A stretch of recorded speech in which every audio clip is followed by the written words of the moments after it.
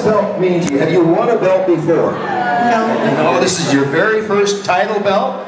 Well, congratulations, and I hope to see you defend that really soon. What does this belt mean to you? It means a lot. A lot because you did a lot of hard work to get it, didn't you? You did a lot of competitions and you did a lot of tournaments and you came here tonight and you made it happen. Well, congratulations. All right. Give it up for Cheyenne Bowman, the new girls 100, oh, excuse me, the new champion. You're okay, right? You okay? Yeah. You're good? And wristbands? Wristbands, please. Sharon, wristband.